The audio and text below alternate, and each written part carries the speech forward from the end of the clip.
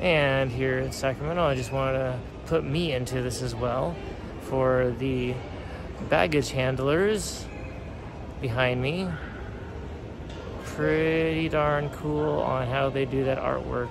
And I'll point more of that out here in just a minute.